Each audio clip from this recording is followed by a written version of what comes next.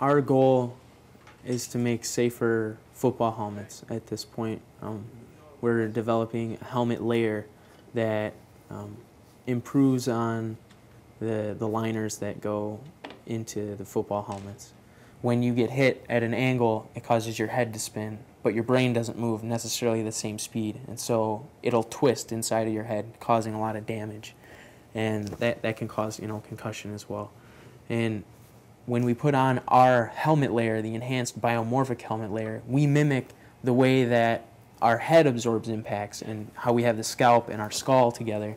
Well, our product actually almost mimics that, that same motion in that it absorbs it absorbs the impact in a rotational manner that allows the, the shell on the outside of the football helmet to shift and the liner on the inside, which is attached to your head, to stay stationary.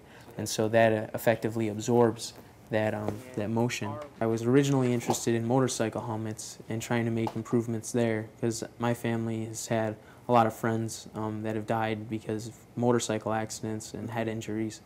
And so that's where kind of my uh, desire to be on this project came from.